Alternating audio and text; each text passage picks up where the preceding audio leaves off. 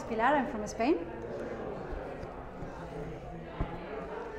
My favorite one, um, conceptually, is uh, Tamar Frank, and aesthetically, is Liz West. My favorite artist is Tracey Emin. Well, Tracey Emin, uh, Jenny Holzer, I have to write that down, this is difficult to, and I would say also Kusama. Thank you very much.